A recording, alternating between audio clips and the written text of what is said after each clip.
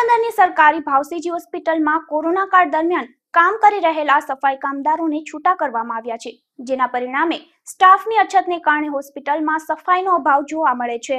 પોરબંદરની સરકારી ભાવસીજી હોસ્પિટલમાં હાલ જનરલ તેમજ કોવિડ બોર્ડ કાર્યરત કરવામાં આવ્યા છે, પરંતુ આ હોસ્પિટલમાં કોરોનાની બીજી લહેર દરમિયાન ભરતી કરવામાં આવેલ કર્મચારીઓને છૂટા કરી દેવાયા છે, જેના પરિણામે હાલ હોસ્પિટલમાં ચારે તરફ ગંદકીના ગંજ ખડકાઈ રહ્યા છે. તો બીજી તરફ હોસ્પિટલના વહીવટી વિભાગમાં વિવિધ મંજૂરીઓ માટે બનાવેલી કમિટી દ્વારા તાત્કાલિક નવા સફાઈ કામદારોની ભરતી માટેની મંજૂરી પણ આપવામાં આવતી નથી.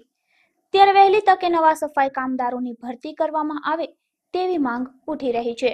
વિપુલ રાઠોડ, ગુજરાત ન્યૂઝ, પોરબંદર.